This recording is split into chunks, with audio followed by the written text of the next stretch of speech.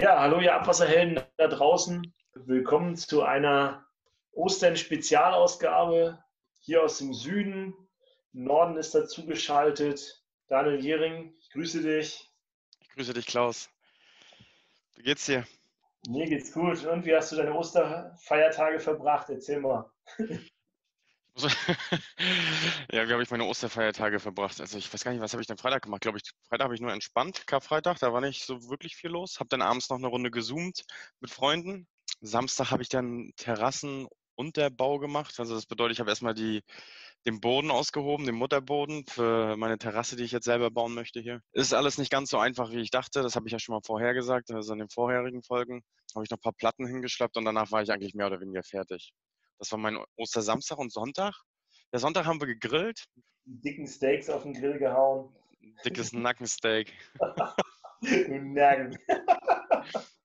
Ich habe gehört, äh, Nackensteaks eignen sich besser zum Grillen als Kotelett, weil da mehr Fett dran ist, wird nicht so trocken. Bei uns hier im Süden ist das nicht so üblich, so zu grillen. Weißt du, was, weißt du, was so der Unterschied zwischen Ost und West ist? Na? Toastbrot auf dem Grill. Machst du Toastbrot auf dem Grill? Ja. Das machen nur Ossis. Ach, wirklich? Im Westen überhaupt nicht. Krass. Überhaupt nicht. Da erkennst du sofort, wer ein Ossi ist und wer ein Wessi ist. Toastbrot auf den Grill hauen machen nur Ossis. das ist mir noch gar nicht so bewusst gewesen. Das ist sowieso eine coole Story. Ich habe hier unten das erste Mal gegrillt, ne? Mit meinen Schwiegereltern. Und dann sagen die so, du kannst doch nicht grillen mit Holzkohle, das macht doch Krebs und so. Ne? Und ich gesagt, ist mir egal, dann lebe ich halt fünf, fünf Jahre kürzer. Und äh, zehn Minuten später standen da alle um den Grill rum. Ich will auch eine Wurst. ja, wenn die dann nicht mit Holzkohle grillen, mit was denn sonst? Der Elektrogrill. Ach, Elektrogrill, okay. Hm. Ja. Gas und Elektro. Total, nee, nur Elektro. Drin. Also total uncool eigentlich. Ne? Aber jetzt haben wir das Grillerlebnis. Mein Schwiegervater ist ja Kunstschmied, der hat jetzt so einen Schwenkgrill gebaut und jetzt ist das auch cool. Ja, ich hatte über Ostern ein bisschen anders bei mir. Ich habe hier eine Schaukel aufgestellt für meine Kiddies. Wir hatten ja perfektes Wetter hier im Süden, südlich von Stuttgart. Jetzt, heute ist auch noch perfekt am Ostermontag. Ja, eigentlich viel zu schade, um drin zu sitzen. Aber irgendwie dürfen wir ja nicht. Und ja, muss man sich sonst irgendwie beschäftigen. Dann habe ich halt bei 30 Grad im Schatten eine Schaukel betoniert. Ist auch mal cool. Oberkörper frei oder Natürlich, für die, für die Mädels müssen auch was sehen. Oh Gott, oh Gott, oh Gott. dafür trainierst du dann immer auf der Rudermaschine, oder was? Ja, genau, dafür muss ich ja trainieren. Das Ziel von Sport ist eigentlich nur nackt gut auszusehen, weißt du? Ist es so? Ja, klar. Nackt gut aussehen. Mehr ist doch nicht. Ist doch egal, wie viel du benchst, Mann. Hauptsache, du siehst nackt gut aus. Cool. oh Gott. Angucken von Arnold Schwarzenegger, dann weißt du auch, sind so ein paar coole Sprüche dabei. Na egal. Ja, jetzt kommen wir jetzt zum Abwasser, ne? Hast du ja. Abwasser irgendwas gemacht die letzten drei Tage? Ich überlege gerade, eine Rohre habe ich nicht verlegt. Ich lasse meine, meine, meine versiegelte Fläche von der Terrasse lasse ich so verrieseln auf dem Hof. Da, da verlege ich nichts. Voll unter den Bus geschmissen, Alter. Hat er nicht verlegt. Ne? Ich überlege gerade, habe ich irgendwas mit Abwasser gemacht? Also ich war nur natürlich auf Toilette, aber ansonsten habe ich, glaube ich, nichts gemacht. Nee, ich auch nicht. Eigentlich hätte man mal, hätte man mal seinen Revisionsschacht mal öffnen können. Kennst du das eigentlich? Jedes Mal, wenn ich meinen Rasen mähe, ne, komme ich mit meinem Rasenmäher am Revisionsschacht vorbei und denke, eigentlich müsstest du da mal reingucken. Ne, wie, nicht, dass sich die Kacke da drin ganz hoch stapelt, aber irgendwie habe ich Schiss davor, da reinzugucken. Wenn es dann wirklich irgendwas kaputt ist, dann kostet es gleich ein Schweine Kohle. Und ich glaube, deswegen will das auch keiner sehen, was da unter der Erde ist. Also das, genau das gleiche habe ich auch mit meinem Vater. Also ich wohne ja hier nur zur Miete. Und mein Vater oder meine Eltern haben halt ein richtiges Grundstück. Der hat auch so einen Revisionsschacht, der hat, der hat zwei Stück, einmal einen großen Revisionsschacht und dann halt mal so einen kleinen Revisionsschacht, so einen Oponorschacht und dann auch mit einer Rückschlagklappe drin. Dann sage ich, ich will die unbedingt mal aufmachen. Den großen durfte ich schon aufmachen und dann wollte ich immer den, den kleinen Revisionsschacht aufmachen mit der Rückschlagklappe drin. Dann sagt er immer, nee, da machst du nichts dran die funktioniert, die Rückschlagklappe. Ich will nicht, dass da einer beigeht und die danach nicht mehr funktioniert. Und ich will gar nicht sehen, was da drunter ist. Genau, ich habe immer so einen Schiss, wenn ich meinen Revisionsschacht aufmache und da liegt so ein riesen Berg Scheiße drin. Und ich denke immer nur, die Scheiße fließt ab, die Klospülung drückst drauf und das Zeug fliegt weg. Ich will nicht wissen, was da los ist. Eigentlich müssten wir aus dem Abwasserbereich gerade gucken, ne? aber ja. sag dir, die Großteil der Bevölkerung ist, denkt genau so, wie ich es dir gerade gesagt habe. Wenn du ein Loch irgendwo buddelst, dann wird es gleich richtig teuer. Ne? Deswegen, solange das Zeug aus der ab, abfließt, wenn man auf die Klospülung drückt, ist alles gut. Tja. Nein. Ist ja auch so ein Riesenthema im, im Abwasserbereich. Ne? Dichtheit von Hausanschlüssen und so. Ne? Der Hausanschluss, dass das Wasser immer schön nicht im Boden versickert und im Kanal abgeleitet wird und dass kein Fremdwasser reinläuft. Was denkst du eigentlich, wo der größte Teil des Fremdwassers herkommt? Aus den Hausanschlüssen oder doch wirklich also ich denke 50-50. Ich glaube, 50 Prozent kommt aus den privaten Grundstücken und 50 Prozent ist im öffentlichen Bereich. Vielleicht sogar mehr im privaten Bereich. Ne? Der größte Bereich der Kanäle ist, liegt ja im privaten Bereich. Aber wirklich wissen, es ist bestimmt auch von Kommune zu Kommune unterschiedlich. Also ist meine Erfahrung so bei Fremdwasserprojekten zum Beispiel, dass bei manchen kommt das, äh, gerade wo das Grundwasser hoch ist, kommt das äh, aus dem, über Infiltration, über Hausanschlüsse vielleicht rein. Bei manchen ist es, weil die Kanäle sehr kaputt sind. Es gibt ja auch spezielle Situationen, die Stadt Pforzheim zum Beispiel, da ist es ja auch so, dass die im, Krieg sehr zerbombt wurde, dann wird das nicht nie richtig äh, saniert. Ne? Man hat einfach wieder draufgebaut und es halt noch viele Anschlüsse, wo man gar nicht weiß, kommt halt auch viel Wasser rein. Aber das ist halt immer von Kommune zu Kommune unterschiedlich. Habe ich Mischsystem, habe ich Trennsystem? Ja, so muss man das vielleicht auch sehen. Ne? Manche, gerade im Osten, sind ja auch viele Kanalnetze viel neuer. Da sollte es nicht so viel Fremdwasser eigentlich geben, aber auch da, naja, gibt es viel Themen damit. Jetzt sind wir vom Hauptnetz ins Tausende gekommen, dann. Aber eigentlich wollten wir über was anderes reden heute. Wir haben uns ja überlegt, wir haben Leute, leider heute keinen Gast, weil wir heute keinen nerven wollten. Daniel, was gucken wir uns heute an? Ich habe gehört, oder beziehungsweise ich habe in den letzten Tagen äh, die Korrespondenz Abwasser bekommen. Dort in dieser Korrespondenz Abwasser in der KA ist auch noch ein Heftchen. Vielleicht kannst du uns das mal genau erläutern, was das überhaupt ist. Achso, genau. Ich habe mir die auch mal hier geholt. Die April-Ausgabe ist das ja, ne? Genau. Und äh, ist eigentlich sehr viel äh, Stoff immer drin. Wer jetzt im Abwasser unterwegs ist, KA nennen wir das. Das heißt äh, kurz für Korrespondenz Abwasser. Das heißt, wenn man Mitglied in der DWA ist, die Deutsche Vereinigung für ähm, Abwasser und Abfall. Dann bekommt man als Mitglied diese Zeitung. Die meisten, die nicht selber Mitglied sind, da kriegt die Firma das und dann geht es in der Firma rum. Wir sind ja selbst persönliche Mitglieder, Daniel, du und ich. Äh, ich glaube, das kostet 100 Euro im Jahr, ne? Irgendwie sowas. 100 Euro im Jahr. Als, junge, als junges Mitglied, also als studentisches Mitglied nur 20, aber als, als ordentliches Mitglied, was wir sind, glaube ich, 100 Euro. Äh, bei uns zahlt das ja die Firma. Da, da, kriegt man einmal im Monat die KA, Korrespondenz Abwasser, und da sind so aktuelle Themen drin. Man kann selber auch Artikel schreiben. Die ist jetzt mittlerweile im 67. Jahrgang, also gibt es schon ewig. Und die besteht, meistens ist das nur die KA. Jetzt ist aber einmal im Quartal gibt es auch das kleine Heftchen dazu, die KA Betriebsinfo. Ja? Und mhm. die Korrespondenz Abwasser ist so mehr so, ich sage mal, für die Ingenieure oder für die Studierten oder Doktoranden oder Professoren sehr technisch gehalten. Und die KA Betriebsinfo ist halt eher die Zeitung für den Praktiker, ne? Sag ich mal. Das ist, da sind eher pra Berichte aus der Praxis drin und die gibt es auch nur einmal im Quartal. Ja. In der KA stehen auch noch ein paar, ich weiß nicht, ein paar juristische Hinweise und sowas, ne, was sich da vielleicht teilweise jetzt getan hat hinsichtlich Gebührensatzung. Vom, vom Aufbau, oder? Ja, können wir gerne mal machen, ne? Also meistens ist ja, das ist mal eine Frage, Daniel. Was hältst du eigentlich davon? Früher war ja auf dem Deckblatt immer das Hauptthema, Jetzt ist das Deckblatt fast komplett eine Werbung nur noch. Ne? Links stehen ja die, die Themen und die, das Titelblatt ist Werbung. Was halte ich eigentlich davon? Ja, also ich war schon sehr verwundert, dass es jetzt hier Werbung ist, ähm, so dass diese, ich sag mal, ja, praxisrelevanten Teile dann sehr klein dargestellt werden. Aber wahrscheinlich wird so nur noch die Zeitschrift finanziert. Ich habe mal einen gefragt, der mal Werbung geschaltet hat. Das kostet, soweit ich weiß, irgendwas Richtung 10.000 Euro da, die Titelseite. Werbung zu schalten. Ne? 10.000 Euro, okay. Ja, ich weiß nicht genau, ne? Ich habe mal so, das wollte ja auch nicht genau sagen, der das gemacht hat. Ne? Das war damals, ich denke, es war ein Durchflussmessgerät oder ein Abwassermessgerät war drauf, ne? Und dann habe ich einfach mal gefragt, den, äh, weil ich den kannte von der Firma und der hat mir dann gesagt, das ist schon teuer, aber hat sich auch gelohnt, dass viele angerufen haben anscheinend dazu. Aber seit wann ist denn jetzt die Werbung drauf? Ich weiß gar nicht, seit ein, ein, zwei Jahren ist das jetzt drauf, ne? Okay. Auf der Titelseite und das kann man, äh, ist wohl auch ausgebucht und soll wohl gut angenommen werden. Man muss sich ja vorstellen, es gibt, glaube ich, 10.000 so eine Zeitung, die geht, ne? 10.000 Mitglieder hat die äh, DWA, glaube ich, oder, oder 15.000, ich weiß nicht genau. Und jeder kriegt so eine Zeitung, ne? Ja. Kannst du auch, kannst du auch abonnieren, glaube ich, wenn man nicht Mitglied der DWA ist, aber so kriegt man sie halt, wenn man Mitglied ist, kriegt man die halt kostenlos zugeschickt. Da sind halt dann interessante Themen drin. Können ja einfach mal durchgehen. Also am Anfang hat man meistens einen Gruß von der Redaktion. Also die, Reichwe die Reichweite ist schon relativ groß dann. Ne? Also wenn du 10.000 Mitglieder hast und da als Firma wirbst, ist das schon viel. Ja. ja, ich meine vor allen Dingen, wenn du die, die, die Titelseite sieht ja jeder. Ne? Also die Titelseite guckt jeder an. Ich weiß jetzt nicht, ich gehe jetzt mal durch, brauche meistens eine Viertelstunde. Also so im Schnitt. Ne? Manchmal sind interessante Artikel da und dann gucken wir auch mal länger. Manchmal ist es auch ein bisschen kürzer, wenn jetzt nichts Interessantes dabei ist. Und überfliegt die halt so ein bisschen. Ne? Gucken wir auf der ersten Seite. Ja, so gehe ich die eigentlich auch durch. Ich gucke immer auf die Inhaltsangabe, was da so für Themen drin sind.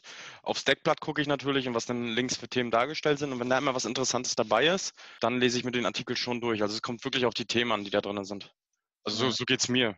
Deswegen ist das, kann ich das gar nicht einschätzen, wie lange ich dafür im Durchschnitt brauche. Dass man am Anfang einen Gruß aus der Reaktion hat. Meistens ist der Johannes Lohaus, unser Geschäftsführer der DWA, äh, erzählt da ein bisschen was. Da hat man am Anfang so ein bisschen Spektrum, also Bericht aus der Presse so was ist aktuell, was entscheiden die Ministerien, welche Förderprojekte gibt es gerade. Das ist meistens ganz interessant, was für Förderrunden es da so gibt. Und dann gibt es Artikel, ne? Also dann, dann, dann kann man hier selber auch Artikel einreichen äh, und die Redaktion entscheidet sich dann, hier steht zum Beispiel was über Digitalisierung äh, 4.0, manchmal über Klärschlamm, hier ist ein Reisebericht von der WEFTEC und so weiter immer mit auch ein bisschen Werbung mit drin. Äh, ich glaube, unsere Firma Unitechnics schaltet ja da auch, glaube ich, in jeder Werbung für, für uns, damit die Leser uns auch nicht vergessen. Diesmal ist auch ein bisschen was Aktuelles zu Corona drin, wie man sich äh, verhalten muss, Hygieneschutzmaßnahmen und so weiter. Hier ist noch was über Kanalzustandserfassung. Also alle möglichen Themen werden hier zusammengestellt. Äh, man kann auch selber Artikel einreichen müssen aber den, schon den Anspruch haben, dass man auch Quellen so angibt, wie man sie verwendet hat. Dann wird hier genannt, wer eingereicht hat und wer nicht. Und am Ende in der KA hat man dann meistens noch so aktuelle Themen, also Veranstaltungen, Merkblätter, also die DWA gibt ja auch ähm, Arbeitshilfen raus. Also wenn man zum Beispiel nicht weiß, wie man eine Kläranlage planen hat, dann kann man bei der DWA sich das Arbeitsblatt Kläranlagenplan äh, runterladen oder, oder kaufen für, was weiß ich, 100 Euro. Und dann weiß man, dann steht da drin, wie man eine, Kläranlage plant einen Kanal plant oder saniert und so weiter. Und da sind dann Arbeitsgruppen, die daran arbeiten und die veröffentlichen, dann wird hier in der KA veröffentlicht, was so der aktuelle Stand ist, was sich geändert hat, dass man halt die Leser auch mitreden können. Hast du eigentlich schon mal rausgesucht, welche Arbeitsgruppe du mal mitarbeiten würdest gerne? Ich ne. Habe ich mir noch gar keine Gedanken drüber gemacht. Aber ich habe noch eine Frage hier zu dieser Zustandserfassung, die du eben gerade auch kurz angeschnitten hattest. Aber das ist das nicht, was äh, bei den Berliner Wasserbetrieben da gerade gemacht worden ist. Ne? Mir hatte da nämlich auch ein Kanalnetzbetreiber erzählt, dass die Berliner Wasserbetriebe gerade mit einer neuartigen Kamera Kanäle befahren, wo man so 360-Grad-Aufnahmen sieht. 360-Grad-Kamera haben die testweise im Einsatz gerade. Das ist äh, aber nicht jetzt hier, oder? Das machen die zusammen mit dem Ingenieurbüro Sika, habe ich gelesen. Okay. Das bleibt das Geheimnis. Nicht, dass das Geheimnis war. Das musst du rausschneiden. Wirklich jetzt? Weiß ich nicht. Ich weiß nicht, ob das geheim ist. Schneid es mal lieber raus. Schneid es raus. Ja, das hat doch ein Kanalnetzbetreiber mir doch sogar selbst erzählt. Ja, okay, dann, dann ist es nicht geheim. Keine Ahnung, ich weiß es nicht. Ich nur, äh, wir haben ja selber auch schon mal sowas probiert mit einer Fischaugen, Doppelfischaugenkamera. Hat halt das Problem, dass wenn du außen eine Hülle drum hast, dann spiegelt die Beleuchtung zurück und dann sieht man nicht so viel. Ne? Ja, ansonsten, was ist hinten noch drin? Veranstaltungen, die aktuell laufen und Veranstaltungsberichte. Ich bin auch zum Beispiel mit drin auf Seite 307. Der erste Stammtisch der jungen DWA in Karlsruhe ist da stattgefunden. Hat der Jens ein Bild reingestellt. Oh, da war so ein Ami dabei. Der hat den geilsten Pornobalken der Welt. Leute, das müsst ihr euch angucken. Seite 307 links unten, das Bild müsst ihr euch angucken. Der, Was gibt es denn hier für neue Erkenntnisse von den DWA-Merkblättern, die jetzt hier überarbeitet worden sind? Ja. Hast du dir schon was angeschaut gehabt? Äh, Bearbeitung des Merkblattes. Ich gucke mal nur auf das, äh, worum das geht, äh, die Überschrift. Und wenn mich die Überschrift interessiert, gucke ich mal ein bisschen rein. Ansonsten eher nicht. Also ich bin ja selber auch Mitglied in einer Arbeitsgruppe, in der Arbeitsgruppe 154. Da kümmern wir uns um Geruch aus Abwasseranlagen. Habe da auch einige Beiträge mit, äh, mit beigesteuert. Ist eigentlich ganz schön. Da trifft man aus verschiedensten Abwasserbetrieben, Ingenieurbüros oder von Universitäten Leute, trifft man sich einmal im halben Jahr und diskutiert, dass man Themen voranbringt, ne, um anderen auch zu helfen und so weiter. Und einfach auch sein Netzwerk ein bisschen aufzubauen. In der, in der, also, wer, also wer da Interesse hat, einfach auf der DWA-Webseite mal äh, schauen. Da gibt es einen Link, da kann man sich die einzelnen Arbeitsgruppen angucken und als Gast darf man eigentlich an jeder teilnehmen und wenn man sich da bewirbt, wird man auch normalerweise eingeladen dazu. Also kann ich nur empfehlen, mitarbeiten, kann man sich ein bisschen vernetzen in dieser Vereinigung. Ja, und am Ende in der KA gibt es dann noch was über Personalien. Der Professor Pinnekamp ist ja in Rente gegangen, jetzt 65 geworden. Und was ganz wichtig ist, der Manfred Fischer ist 80 geworden. Ich habe ihm auch zum Geburtstag gratuliert. Und der Manfred Fischer ist ganz wichtig. Der ist ja ein Urgestein in unserer Abwasserbranche oder auch in der DWA, vorher ATV. Und der, das ist jetzt wieder für die KA interessant, der ist nämlich Schriftführer für die KA-Betriebsinfo, Daniel. Okay. Ne? Also das, was man hier sieht, die KA-Betriebsinfo, der Einleger einmal im Vierteljahr, das macht der Manfred noch. Ganz toller Typ, klasse Mensch. Wenn man den mal trifft auf einer DWA-Veranstaltung, einfach mal ansprechen, der freut sich immer, neue Leute kennenzulernen und vor allen Dingen auch, wenn man ihm Themen reingibt. Kannst du ja mal drüber gehen über dieses Thema, was so der Inhalt von dieser Betriebsinfo ist, Daniel. Ja, also auf der Betriebsinfo, das praktisch das Beiheft ist zur KA, was dann immer einmal im Quartal, meintest du, ne, mit erscheint. Einmal im Quartal gibt es das. Ist ein Biber drauf zu sehen? Ist das ein Biber oder ein Das ist Stinktier? ein Dachs, Mann. Das ist ein Dachs. Ein Dachs. Oh Gott, die Jugend von heute. Oh. Ey, ohne Witz, ich habe übrigens eine riesige Schwäche, Tiere zu erkennen. Ne? Ich, kann ich mal eine kurze Anekdote erzählen. Ähm, ja, meine Verlobte, die ist äh, sehr, sehr tierbegeistert und ich eigentlich eher weniger so. Und da sind wir mal auf so einen, auf zu Freunden gegangen auf dem, auf dem Hof und die hatten da einen Kalb stehen. Das muss ich sagen, ja, ein Kalb, genau. Und ich habe gefragt, was ist denn das für ein Pferd? Ey, Daniel, das ist echt schon, das ist das Geilste. Biber ist gleich Dachs. Ey, das weiß ich. Dritte Klasse oder zweite Klasse gab es Dachs als äh, äh, Tier des Waldes. Ne? Hat lange Krallen, macht Winterschlaf und was weiß ich. Aber Biber ist auch ein gutes Stichwort.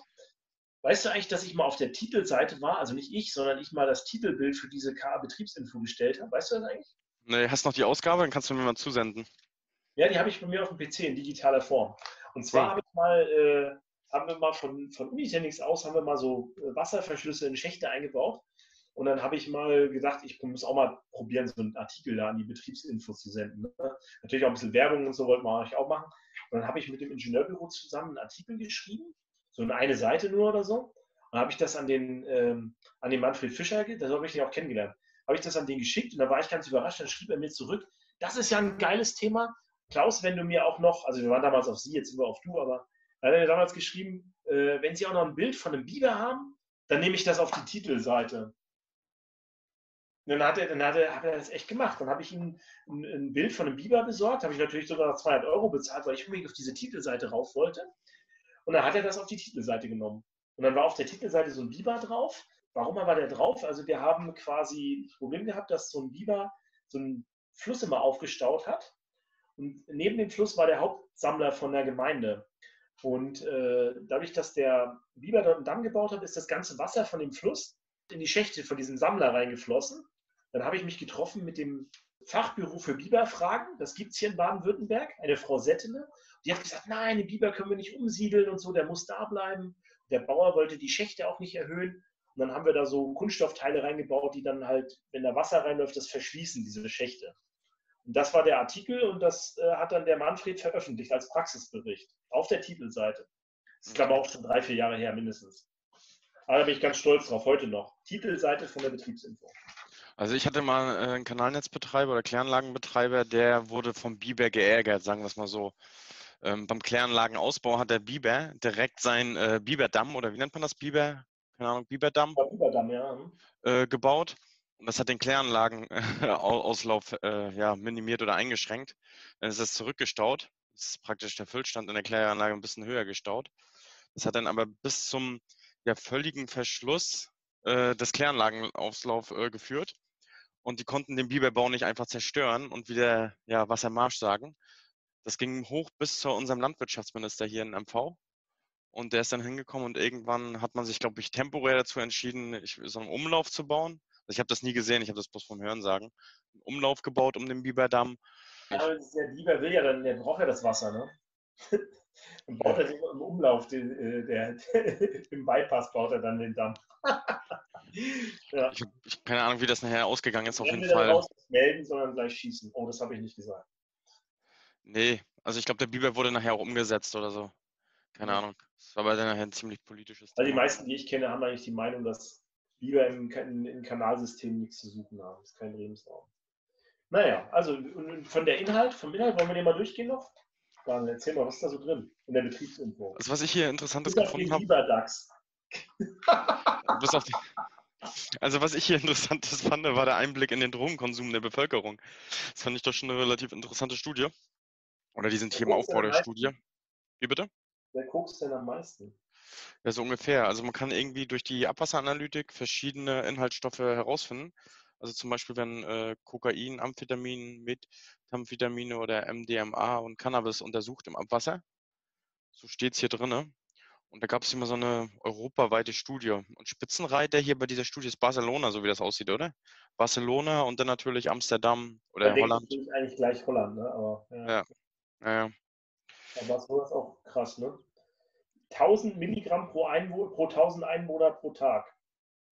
Über ja. 1000 Milligramm hat Barcelona pro Einwohner pro Tag. Von Kokain. Das heißt, Ham jeder Milligramm. Ja. Hamburg, Hamburg, Hamburg und Berlin auch, ne? Also Hamburg und Berlin haben, Hamburg hat 500 Milligramm pro 100.000 Einwohner, äh, pro 1000 Einwohner pro Tag. Das ist bei 400, ne? Ja. Mhm. ja. Krass koksen sich alle zu. Gott sei Dank haben die nicht Mötzingen und äh, Schwerin genommen, Daniel, Alter. Ja. ja, Bullshit. Wahrscheinlich so ein Riesenball. Da wäre die ganze Karte voll hier, die, die Anschaukarte, wo man das hier sehen kann. Ey. Krass. So ein Quatsch. Ja, ansonsten. Ja, eine Schachteinlauftonne. Kann man sich auch mal angucken. Also es gibt immer interessante Neuigkeiten hier, auch aus der Praxis. Kleiner Spoiler, ich kann nur die nächste Betriebsinfo im Juni empfehlen. Da hat ein gewisser Klaus Hilk einen Artikel geschrieben über Fettabscheider. Wirklich? Ja! Das ist, schon, das ist ja immer im äh, drei Monate im Voraus, ist es immer schon klar, was veröffentlicht wird. Also wenn man dann einen Artikel veröffentlichen will bei Manfred, äh, muss man sechs Monate vorher eigentlich schon sich anmelden. Und das hat er, mein Artikel hat er im Juni reingenommen, über meine Masterarbeit. Okay. Habe ich gesagt, ich schreibe mal Artikel auf der letzten Veranstaltung, habe ich ihm das geschrieben und dann hat er das, er redigiert das auch, ne? Also man muss auch keine Angst haben, dass man irgendwie einen schlechten Artikel, er sagt einem dann, schreibt das mal ein bisschen anders, schreibt das mal um oder macht auch Vorschläge. Also es ist total super. Also kann ich nur empfehlen, bei Manfred einfach mal was hinzuschicken. Er freut sich auch über jeden, der ihm hilft, Inhalte zu füllen. Und es gibt dann auch so eine Rangliste, wer die meisten Sachen ein, äh, einreicht. Zum Beispiel die Frau Jilk, nicht verwandt und nicht verschwägert mit mir, aus Schwabach bei Nürnberg. Die ist so eine der am meisten einreichenden Teilnehmer, habe ich mal gehört. Hier ist auch wieder Werbung von Unitechnics natürlich drin. So. was ich noch irgendwie cool fand, war der Tatort Kläranlage hier. Okay. Die Bemalung oder das Graffiti. Ja, die Stadtwerke Jena haben hier was gepostet, ne? Mhm. Achso, und dann hier noch auf der letzten Seite steht noch was drin über Corona in der Abwasserwirtschaft ob äh, das Betriebspersonal dadurch infiziert werden kann, weil man ja Rückstände von dem Coronavirus im, Ab im Abwasser findet oder finden kann. Und das steht hier drin, es gibt keinen wissenschaftlichen Beweis, dass keine Infektion stattfindet. Also ich, ich höre immer noch diesen Podcast, weiß von diesem Drosten, von diesem Virologen vom NDR. Und mhm. äh, der hat das auch nochmal gesagt. Das Virus ist einfach nicht mehr infektös. Mhm. Also das, das steckt das Betriebspersonal dann wahrscheinlich auch nicht mal an oder keinen anderen. Ja, wir haben ja sowieso mit vielen äh, Erregern zu tun. Und das ist ja im Abwasserbereich sowieso schon äh, eines der größten Probleme, dass, dass man mit Erregern zu tun hat, die im Abwasser nun mal drin sind. Das sind die Ausscheidungen von uns und ja, die Bakterien, die da drin sind, die können auch zum Beispiel beim Kanal reinigen, wenn es sich dort Aerosole bilden, natürlich die Mitarbeiter einatmen. Ne? Deswegen gibt es ja auch äh, ganz viele Schutzmaßnahmen dagegen. Aber ich persönlich, meine persönliche Meinung dazu ist, äh, dass auch ein großer Grund ist, dass wir ein super Immunsystem haben, dass wir halt ständig mit diesem Medium Abwasser in Kontakt sind. Ne? Dann muss ich schon ehrlich sagen, ich glaube schon, dass mein Immunsystem im Durchschnitt besser ist als das von jemandem, der zum Beispiel in der Leiterplattenindustrie arbeitet, ja, wo ich ständig im Raum reinraum bin. Mhm. Könnte sein, ja. Mehr finde ich jetzt hier nicht in der Betriebsinfo. Man hat noch so ein paar Hinweise auf Veranstaltungen am Ende. Aber es ist auch immer das Interessante. Also ich, ich bin fast, ich, ich bin so ein bisschen hin und her gerissen. Äh, ich bin ja auch, wir sind ja auch im Praktischen unterwegs und ich freue mich immer besonders auf diese Betriebsinfo eigentlich, weil ich die Praxis näher finde Und ähm, deswegen freue ich mich auch immer am Quartal, wenn die Betriebsinfo mit dabei ist. Ja, also da kann man eigentlich zusammenfassen, ne? die KA ist eigentlich ist schon ein bisschen rückständig, ne? weil viel macht man ja digital, aber bei uns in der Abwasserbranche ist halt immer noch so, dass diese Zeitung so das Hauptkommunikationsinstrument für Neuigkeiten in unserer Branche ist. Ne? Daniel, ich frage dich einfach mal, findest du es gut so? Weißt du eigentlich zufälligerweise, ob man die KA auch als äh, E-Book bekommen könnte? Also wenn man da jetzt, äh, wenn man die abonniert hat? Runterladen. Als, als, da musst du aber die Mitgliedsnummer und so weiter haben, deine Zugangsdaten haben, dann kannst du dir die auch runterladen in digitaler Form. Okay, ja. Das wäre natürlich mal eine, äh, eine Verbesserung, ne? wenn man ich kenne das nämlich so, wenn du jetzt irgendwie ein PDF hast. Ich habe ein Kindle als E-Book-Player, äh, als E-Book-Reader und ähm, da kannst du dir dann auf deine, weiß nicht, deine Amazon-E-Mail-Adresse, kannst du dir dann praktisch dein PDF direkt als Kindle E-Paper konvertieren. Und wenn man diese E-Mail-Adresse direkt bei der, e äh, bei der DWA angeben könnte, die einen das dann direkt auf den E-Book-Reader sendet. Das wäre natürlich schon eine Verbesserung, oder? Ich glaube, dann würde ich das auch ein bisschen intensiver lesen. Also ich muss ganz ehrlich sagen, ich hatte mir mal vorgenommen, jeden Morgen beim Kaffee mir die Zeitung vorzunehmen, wenn die draußen ist und das durchzulesen, aber man kommt irgendwie nicht dazu, wenn ich ganz ehrlich bin. Ich hatte mir das wirklich fest vorgenommen und mir ist jetzt wieder so ein bisschen bewusst geworden, man muss sich mehr mit der Thematik beschäftigen. Ich würde fast sagen, dass die KA, also nicht die Betriebsinfo, nicht dieses Blatt, was da drin steckt, sondern das, was außen drum liegt, das ist äh, gesamtwirtschaftlicher gesehen. Wenn man sich da intensiv äh, reinlesen würde, kann man gut mit aufnehmen, was gerade so los ist in der, in der Wasserwirtschaft. Mhm. Mir jetzt nochmal so ein bisschen mehr bewusst geworden und äh, dass man vielleicht so einen beschränkten, eine beschränkte Sichtweise hat. Auch wir, die jetzt in einem Zweig unterwegs sind, insbesondere Kanalnetz. Warum hast du denn noch nie einen Artikel eingereicht, Daniel? Also ganz im Ernst, mir war das nie so bewusst, dass ich persönlich dort einen Artikel einreichen darf, muss ich auch ganz ehrlich sagen. Aber jetzt weißt du es ja, ne? Jetzt weiß ich. Du würdest eher auch in die Betriebsinfo was einreichen, oder? Also ich werde mich heute Abend noch direkt hinsetzen, einen Artikel schreiben. Und zu was? Also ich werde schon ein Thema finden. Okay, also da bin ich gespannt, mal von dir mal einen Artikel zu lesen, Daniel. Von mir. Muss ich den alleine schreiben oder kann ich mir da irgendwie, ich sag mal, äh, mehr Know-how mit hinzuziehen? Ja, sollte halt, äh, du darfst halt keine Werbeartikel schreiben. Ne? Also Firmen wollen ja gerne natürlich ihre Sachen da gerne drin lesen, aber es sollte halt was Interessantes sein für die Abwasserbranche, das auch für die, in der Betriebsinfo für die Praktiker interessant ist. Da achtet der Manfred Fischer zum Beispiel ganz drauf. Und ähm, in der ähm, äh, in der KA, das ist der Dr. Frank Briniewski, äh, der ist da der Chefredakteur und äh, da ist es schon ein bisschen höherer Anspruch auch an die, an die Wissenschaftlichkeit. Ne? Also das ist ja auch, zählt ja auch als Veröffentlichung dann so, so weit, ne? wenn man dort was veröffentlicht hat. Okay. Ich habe jetzt für beides schon Artikel geschrieben. Ich sage, für die KA ist das deutlich aufwendiger, muss man ehrlich sagen. Also, also würde ich dann anfangen mit der Betriebsinfo? Würde ich dir empfehlen, wenn du eine interessante, praktische Sache hast, kannst du es gerne veröffentlichen. Äh, wichtig ist noch immer, dass du jetzt nicht von der Firma aus veröffentlichst, sondern möglichst, äh, wenn du es zum Beispiel mit irgendjemandem zusammen gemacht hast, dass dann eine Kommune das veröffentlicht. Das ist immer, ist immer lieber, als wenn man das jetzt Firmen macht. Mhm. Sonst so werbemäßig rüberkommt. Ne? Ich sehe das ja auch so, ich lese das Ding auch immer morgens, wenn ich, wenn ich nichts anderes zu tun habe, liegt bei mir manchmal eine Woche rum und das Wichtigste ist mir eigentlich immer, dass ich immer die Artikel durchlese, dass ich nicht von irgendeinem Kumpel von mir, den ich kenne, irgendwas veröffentlicht ist und ich habe den Artikel nicht gelesen. Dann fragt er mich, und hast du meinen Artikel gelesen in der KA? Und ich dann sage, äh, welchen Artikel? Das ist dann immer peinlich. Deswegen will ich auch immer schon wissen, guck mir auch mal an, wer die Artikel veröffentlicht hat, dass ich dann auch von denen, die ich kenne, das mal durchlese. Haben wir es, oder? Ich hätte gesagt, wir müssen beim nächsten Mal mal darauf eingehen, was die DWA ist, oder? Ja. Daniel. Das so. Oder hast du eine andere Idee? Ich überlege halt, vielleicht könnte man beim nächsten Mal äh, ein Thema mal in den Vordergrund stellen. Also, dass wir wirklich sagen, okay, jetzt sprechen wir mal komplett inhaltlich auf oder über das Thema zum Beispiel Fettabscheider. Du bist doch mit Fettabscheider jetzt in der, in der Betriebsinfo. Das ist doch ein guter Übergang. Ja, das ist erst im Juni. Das ist ja, dann nimmt man ja alles vorweg. Dann, dann liest ja keiner mehr die Zeitung. Ach ja, wir sind ja nächste Woche schon wieder auf Sendung. Weil sie dann alle schon sagen, habe ich doch im Abwasser-Podcast schon gehört. Genau. Abwasser-Podcast schon gehört. Können wir aber auch machen. Also Fettabscheider ist ja mein Herzensthema, sage ich mal. Da kann ich dir erzählen von vorne bis hinten, warum, warum Fettabscheider eigentlich Quatsch sind mittlerweile, warum man da optimieren muss und auch wie man das machen kann. Ja, könnte man eigentlich mal machen in einer separaten Folge. Aber ich würde beim nächsten Mal trotzdem mal die DWA nochmal zum Thema machen. Da mal ein bisschen was erzählen für die Leute da draußen. Vor allen Dingen auch, wie man da mitmachen kann. Was die junge DWA ist, würde vielleicht auch mal passen, oder? Wir, wir können auch, ja, das können wir gerne machen. Also wir können auch beim nächsten Mal in unserer Kategorie äh, Abwasser einfach, und jetzt habe ich auch das Feedback von unseren Zuhörern nochmal mitgebracht, nicht einfach erklärt, sondern wir nehmen einfach das schöne Wortspiel einfach geklärt. Abwasser einfach geklärt. Was hältst du davon? Ich bin da begeistert. Wenn unsere Zuschauer das vorschlagen, dann müssen wir das natürlich machen, ist ja klar. da können wir doch gerade mal für unsere. Die Helden da draußen. Und wenn ihr sagt da draußen den, an den Rundfunkgeräten, wir müssen das machen, dann machen wir das.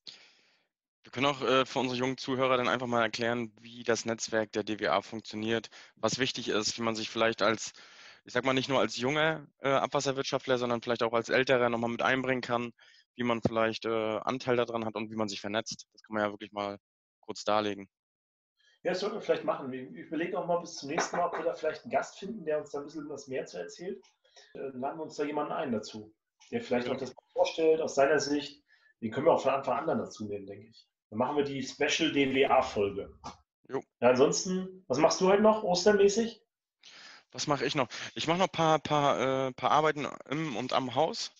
Ja, und ansonsten denke ich mal, ich werde noch spazieren gehen, ein bisschen frische Luft tanken und ansonsten, ich habe äh, übrig, ach, ich habe eine richtig lustige Geschichte noch ganz zum Schluss. Also es ist ja, wirklich, also äh, meine Verlobte und ich schenken uns halt immer was, auch zu Ostern, also so ein kleines Nest und da ist eine Kleinigkeit drin.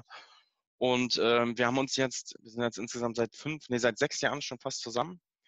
Und das Lustige ist, wir haben uns jetzt zum zweiten Mal das gleiche geschenkt. Also nicht zu Ostern, das andere Mal war zu Weihnachten. Jeder hat den anderen das identische geschenkt. Das war ein Jetzt Film. will aber jeder wissen, was ihr euch geschenkt habt. Ja, das war. Äh, fang die, aus, Daniel, fang aus. Äh, das war, das war die Blu-ray äh, der Joker. Vielleicht hat ihn jemand schon gesehen jetzt im Kino Ende letzten Jahres. Nee. Oh, ich habe gedacht, jetzt kommt was Spannendes, okay. Mit Joachim Phoenix. Nee. Ja, den wollen wir heute Abend dann wahrscheinlich noch schauen. Ja, Mensch, ist doch super. Was hast du denn jetzt noch vor? Ach, ich gehe jetzt mit den Kindern spazieren, nutze das Wetter ein bisschen aus. Äh, wir werden uns äh, ein bisschen äh, in der Sonne, vielleicht nehme ich auch die Schaukel heute noch in Betrieb. Mal gucken, ob mein Schwiegervater sagt, dass der Beton fest genug ist. Ja, und ansonsten noch Sport machen heute Abend. Und natürlich für, die, für euch Helden da draußen den Abwasser-Podcast noch hochzuladen auf YouTube. Wenn ihr es jetzt hier hört, war wieder viel Arbeit, aber hat Spaß gemacht, Daniel. Ne? Sehr, ja, war sehr angenehm. Und die nächste Folge stellen wir natürlich wieder Anfang nächster Woche bereit und wir freuen uns natürlich auf ein Like und einen Daumen hoch und die Glocke an und was, was muss man noch alles machen? Bei Instaface müsst ihr uns folgen und so weiter. Genau. Folgt uns einfach, abonniert uns, liked uns, macht alles das, was wir selber nicht wissen, wie es geht. Das Das wird uns gefallen. Und äh, wie sind deine letzten Worte? Pantare, alles fließt immer abwärts, Leute. Also, ciao. Ciao.